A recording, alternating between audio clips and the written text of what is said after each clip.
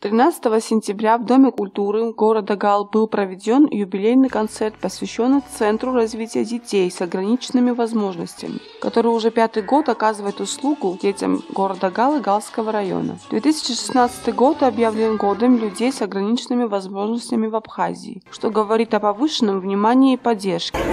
Сегодня чудесный день. А, чудесный день, потому что здесь, в этом прекрасном маленьком городке, существует такая организация, которая называется Центр развития детей. Эта организация уже существует пять лет.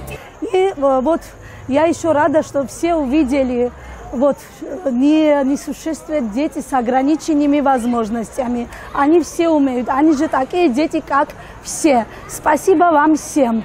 В настоящее время в республике три центра развития которые работают при поддержке международных организаций UNICEF, World Vision и финансированием шведского общества международного сотрудничества в городе Галт, Куарчал и Ачамчира. Концерт прошел с участием детей с ограниченными возможностями в теплой и дружеской атмосфере, и в завершении всех организаторов за помощь и сотрудничество наградили почетными грамотами.